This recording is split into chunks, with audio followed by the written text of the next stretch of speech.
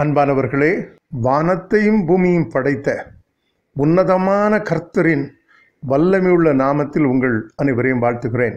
ஆயிரத்தி தொள்ளாயிரத்தி நாற்பதாம் ஆண்டு செப்டம்பர் மாதம் ஜெர்மானிய விமானப்படை இங்கிலாந்து தேசத்தின் மேல் குண்டு மழை பொழிய ஆரம்பித்தது. விமானங்கள் பறக்கும் பொழுதெல்லாம் பொதுமக்கள் பயந்து அங்கே வெட்டப்பட்டிருந்த பதுங்கு குழிகளுக்குள் சென்று தங்களை காத்து கொள்ள ஓடினர். ஆனால் ஒரு அம்மையார் மிகவும் அமைதியுடன் தன் வீட்டில் தங்கி இருப்பதை அக்கம் பக்கம் உள்ளவர்கள் கண்டு வியந்தபோது அந்த அம்மையார் இப்படி சொன்னார்களாம். கர்த்தர் என்னை காக்கிறவர் என்று பதிலளித்தார்களாம். இன்று தேவன் நமக்கு தரும் அருள் வார்த்தை சங்கீதம் நூற்றி இருபத்தி ஒன்று ஐந்து. கர்த்தர் உன்னை காக்கிறவர். கர்த்தர் உன்னை காக்கிறவர்.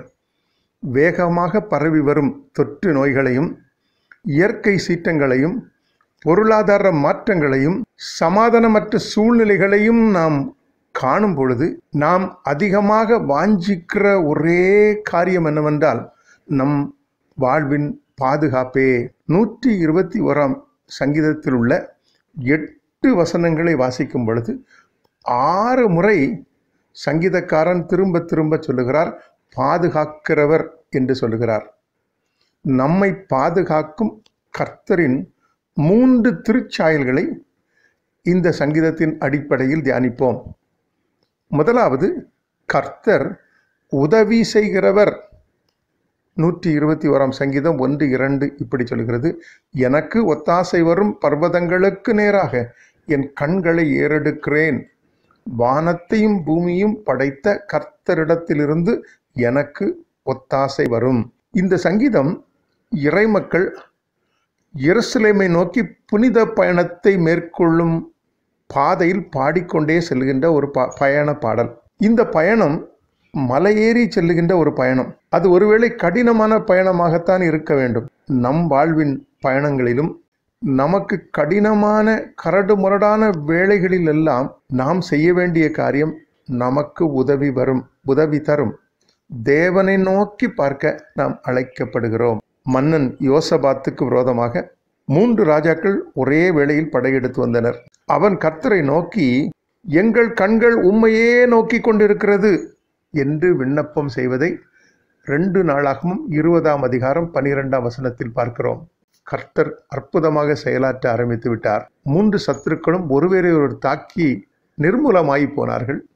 யோசபாத்தோ மகத்தான வெற்றி பெற்றார். நாம் இன்று அவரையே நோக்கி பார்ப்போமா? ஏனெனில் அவர் நம் போராட்டமான வாழ்வில் உதவி செய்கிறவர். இரண்டாவது கர்த்தர் சர்வ வல்லமை உள்ளவர். நூற்றி இருபத்தி ஓராம் சங்கீதம் இரண்டாம் வசனம் இப்படி சொல்லுகிறது. வானத்தையும் பூமியும் படைத்த கர்த்தரிடத்திலிருந்து உனக்கு ஒத்தாசை வரும். நமக்கு உதவி அளிக்கிறவர் சாதாரண மனிதன் அல்ல. அவர் நம்மை உருவாக்கினவர் வானத்தையும் பூமியும் உண்டாக்கினவர் இயற்கைக்கு அப்பாற்பட்டவர் இயற்கைக்கு மேலாக செயலாற்ற வல்லமை உள்ளவர். இப்படிப்பட்ட கர்த்தரை நோக்கி பார்க்கும் போது நாம் கலங்க வேண்டியதே இல்லை. ஆதியாகும் பதினேழு ஒன்றில் ஆபரகாம் நோக்கி கர்த்தர் சொல்லுகிறார் ஆபரகாமே நான் சர்வ வல்லமையுள்ள தேவன். நம்மை காப்பவர் இல்லாதவைகளை இருப்பது போல் அழைக்கிற தேவன். என்னாலே செய்யக்கூடாத அதிசயமான காரியம் ஒன்று உண்டோ என்று நம்மை பார்த்து கேட்கிறவர். நம்மையும் ரட்சிக்க கூடாதபடி அவர் கை குறுகி போகவில்லை என்று வேதம் நமக்கு சொல்லுகிறது. ஆகையால் அவர் நம்மை காக்க வல்லமை உள்ளவர் என்று நம்பி அவரையே பற்றி கொள்வோமா? அவரையே நோக்கி பார்ப்போமா? மூன்றாவது கர்த்தர் கரிசனை உள்ளவர். மூன்றாம் வசனம் இப்படி சொல்கிறது உன் காலை தள்ளாட ஒட்டார். நான்காம் வசனம் சொல்கிறது உன்னை காக்கிறவர் உறங்கார்.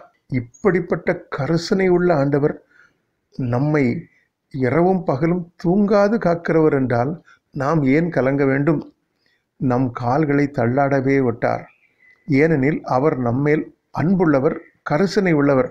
இரவெல்லாம் உறங்காமல் சிறு குழந்தையை தாய் இரவிலும் பாலூட்டி தாளாட்டி காப்பது போல் நம்மை காப்பவராம். ஐந்தாம் வசனத்தை வாசித்து பாருங்கள். நாம் அவரை நோக்கி பார்க்கும் பொழுது அவர் எங்கோ இருந்து நம் விண்ணப்பத்தை கேட்பவர் அல்ல.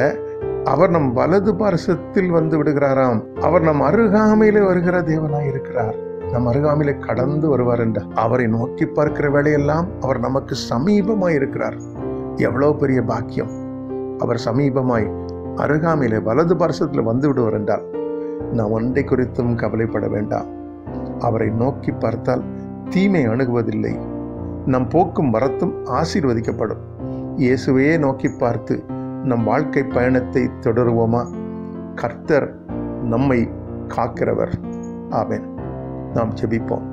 அன்பு நிறைந்த ஆண்டவரே எங்களை கரிசனையோடு வழி நடத்துகிற சர்வ வல்லமையுள்ள தேவனே எங்கள் போராட்டமான வாழ்வில் எங்களுக்கு உதவி செய்ய ஆயத்தமாக இருக்கிறவரே உம்மை துதிக்கிறோம் ஸ்தோத்திரிக்கிறோம்.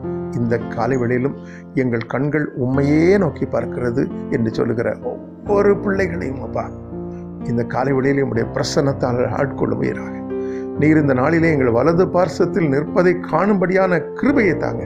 அதற்கான ஆவிக்குரிய கண்களை இப்பொழுது இந்த நிமிஷத்தில் திறந்தெழுவீராக இயேசுவின் நாமத்தில் கேட்கிறோம் நல்ல பிதாவே ஆமேன் ஆமேன்